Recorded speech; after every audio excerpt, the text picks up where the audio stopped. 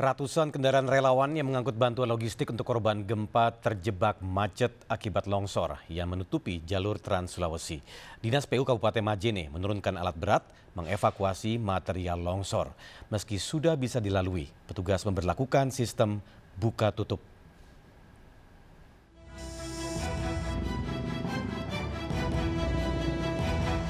Ratusan kendaraan relawan yang mengangkut bantuan logistik korban gempa Senin siang terjebak kemacetan panjang. Jalur Trans Sulawesi di Desa Onang Utara, Kecamatan Tugu Sendana, Majene, Sulawesi Barat longsor. Material longsor termasuk bongkahan batu besar menutup seluruh badan jalan dan menyebabkan jalan tidak bisa dilalui. Akibatnya antrian kendaraan mengular dan menyebabkan kemacetan hingga 10 km. Longsor disebabkan gempa susulan yang masih terjadi beberapa kali. Tadi menunggu di sini, Pak. Dari jam 6 pagi, Pak, Hmm. sampai sekarang. Ini kenapa ada. ini, Pak? Sampai menunggu lama begini. Menurut informasinya di depan ada longsor. Kita tujuannya mau ke Mamuju, Memuju. Sulawesi Barat. Mau jenguk keluarga ya. Mau bawa logistik. Kalau ini longsor tadi sekitar jam 5.30 Iya. waktu Indonesia Tengah. Hmm.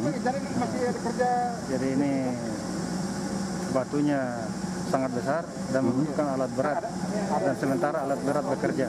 Mudah-mudahan secepatnya bisa tembus untuk mempermudah melancarkan arus pendistribusian logistik. Setelah tiga unit alat berat Dinas PU Kabupaten Majene diturunkan pada Senin sore, jalur Trans Sulawesi akhirnya bisa dilalui sebagian. Namun proses evakuasi material yang masih menutupi separuh jalan masih terus dilakukan. Ya alhamdulillah sudah bisa dilalui cuma antrian Pak ya. Ya, Buka tutup istilahnya Pak. Antrean kendaraan masih terjadi sepanjang 5 km. Petugas masih memperlakukan sistem buka tutup jalur untuk mengurai kemacetan. Dari Kabupaten Majene, Sulawesi Barat, Ali Muhtar melaporkan.